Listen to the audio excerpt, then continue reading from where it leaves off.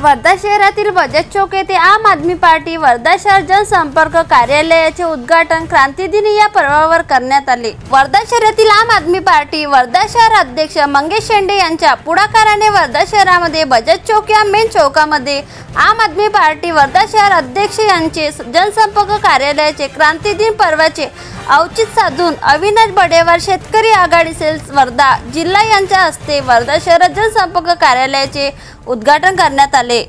त्या उद्घाटन प्रसंगी आम आदमी पार्टीचे जिल्हा अध्यक्ष प्रमोद भोसले जिल्हा उपाध्यक्ष ॲडव्होकेट दुर्गाप्रसाद मेहरे वर्धा जिल्हा सचिव अतुल तिडके वर्धा शहर अध्यक्ष मंगेश शेंडे